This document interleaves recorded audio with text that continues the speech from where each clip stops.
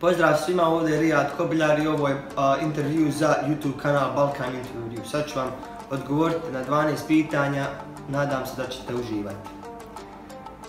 Prvo, opiši se u, tri riječi. Ambiciozan, uporan, vrijedan. Koliko dugo se baviš futbalom? Od svojih prvih koraka se ja bavim futbalom.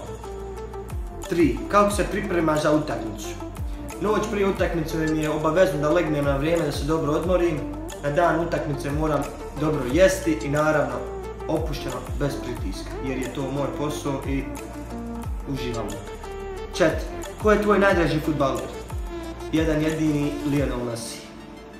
Koji je tvoj najdraži klub?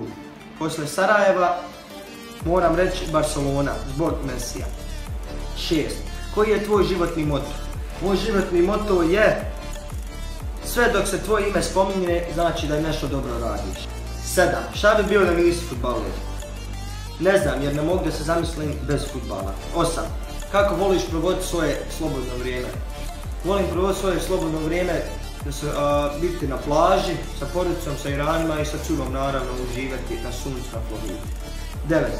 Kako komentarišeš svoj period proveden u FK Sarajevo? Na početku mi je odlično bilo prvi utisak, stvarno vrhunski je klub bio, ali onda se dosta turbulencija desilo koje želim da komentarišem na to. 10. U kojem klubu si počeo karijeru? Dok sam živio u Sarajevu, igrao sam za Bumamaru i onda sam se uselio u Ameriku sa 6 godina i nastavio sam igrat za JYS Fury. 11. Uh, neostvarena želja. Sad za sad je nemam, kad je budem imao, javit, ću se pa ćemo nastaviti to pitanje. 12. Koga vidiš kao prvaka BH u ovoj sezoni? Teško je to pitanje, bit će guravo, ali ipak mislim da će Zrinski ostati na vrhu.